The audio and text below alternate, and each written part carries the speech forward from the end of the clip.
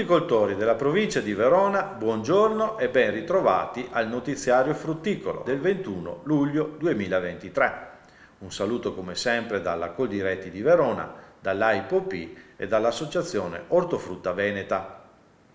Vediamo ora il pesco, fase fenologica, accrescimento del frutto, maturazione. Moniglia, intervenire in preraccolta con programmi anti-moniglia. Cidia molesta, si è concluso il secondo volo, le ovide posizioni sono ormai all'80% del totale, così come le nascite larvali. Ora sono possibili sovrapposizioni con l'inizio del terzo volo, dove si reputa elevato il rischio intervenire con insetticidi ad azione larvicida, tipo Etofenprox, efficace anche nei confronti di cimice asiatica, oppure Spinetoram verificare i tempi di carenza per le varietà in maturazione. Forficule permangono elevate presenze di danni, eventualmente intervenire nelle ore notturne con piretroidi o spinosad utilizzati contro altri insetti in quanto non vi sono sostanze attive autorizzate. Actinidia, accrescimento dei frutti, per la prevenzione da scolature su frutti e vegetazione utilizzare il caolino. Euglia, mantenere monitorata la presenza con l'uso delle specifiche trappole.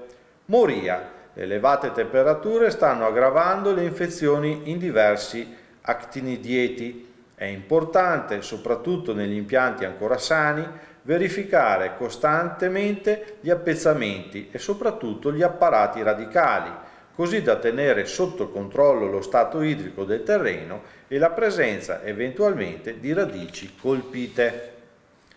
Melo, fase fenologica, accrescimento dei frutti. Attività agronomiche.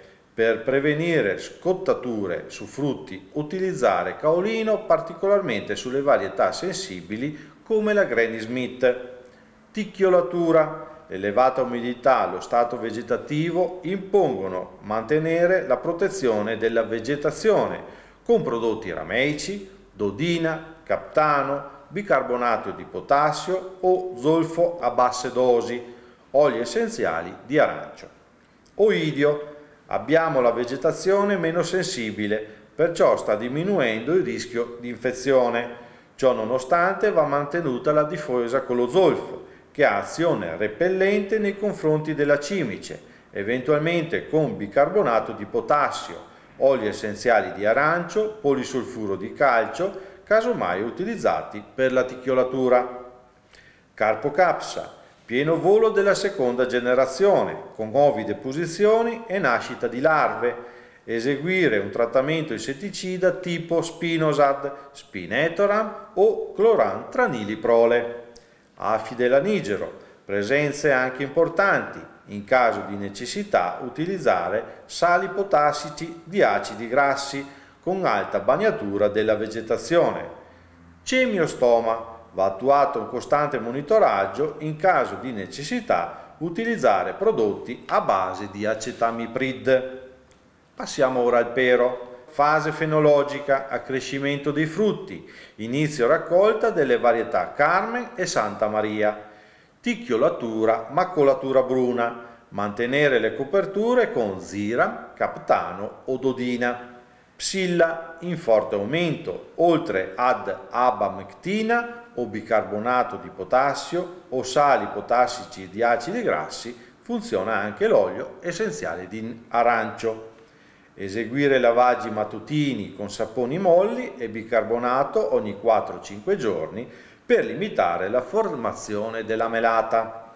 Carpo capsa, pieno volo della seconda generazione, con ovide posizioni e nascita di larve, eseguire un trattamento insetticida tipo Spinosad, Spinetoram o Chlorantraniliprole.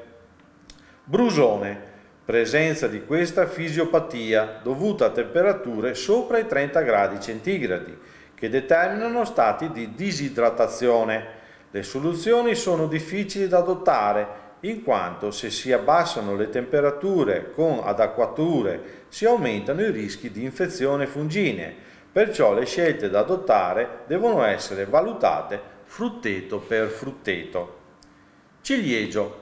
La pianta di ciliegio con le elevate temperature soffre molto. Si consiglia di attuare un intervento con caolino per evitare difetti della frutta dell'anno prossimo. Per quanto riguarda l'olivo vi rimandiamo ai soliti canali digitali www.aipoverona.it e al canale YouTube.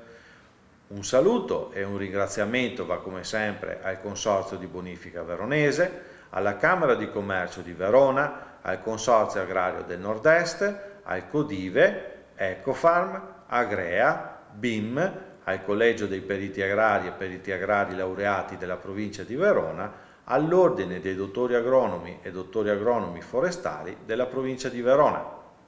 Ed ora un saluto e un arrivederci al prossimo notiziario frutticolo.